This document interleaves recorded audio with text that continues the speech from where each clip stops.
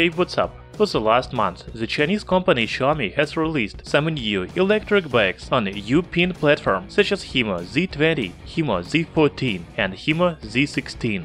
In this video I want to talk about the latest Himo Z16 and compare the new electric bike with the previous two models. The new Xiaomi electric bikes cost from 350 to $450. Himo Z20 is the most expensive, while Himo Z16 is the cheapest. Before we start talking about their main features, please hit the like button and subscribe to our channel Tech Brothers.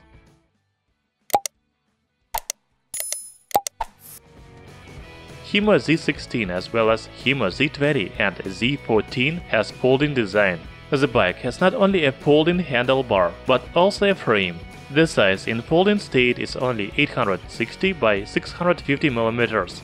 The weight of the new bike is 22.5 kilograms. The main feature of a Himo Z16 is under-seat shock absorber. The previous electric bikes doesn't have it. Himo Z16 should be more comfortable to ride on rough roads. It is interesting that only Himo Z14 doesn't have display on the handlebar. On the screen of Himo Z16 and Z20, you can see the speed, distance and riding mode. All electric bikes are protected from water by IPX7 standard. As you can see, Himo Z16 and Z20 have the battery inside the frame, while the battery of Himo Z14 is located under the seat. All batteries are removable, so you can take them out and charge them at home instead of carrying the whole bike. By the way, only Himo Z14 has the second seat on the back wheel. However, all electric bikes withstand the maximum weight of 100 kilograms.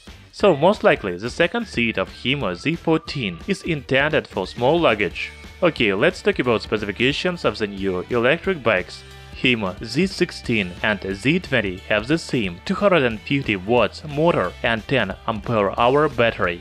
Also, they have the same range up to 80 km and a maximum speed of 25 km per hour. Himo Z14 has more powerful motor, 350 watts, and bigger battery. Actually, this electric bike is available in two versions with 12 and 15 ampere hour batteries. The maximum mileage with 12 Ah battery is 80 km and 90 km with 15 Ah battery.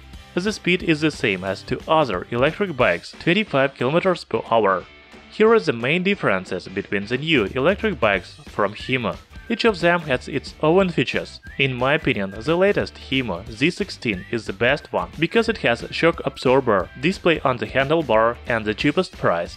It costs only $350 in China. Which electric bike do you like more? Write in the comments below. Thank you for watching, hit the like button and subscribe to our channel Tech Brothers.